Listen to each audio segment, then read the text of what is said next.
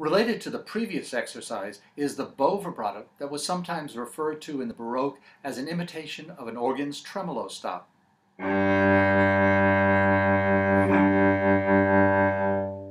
It turns out that in vibrato there is not just a change of pitch, but also a volume.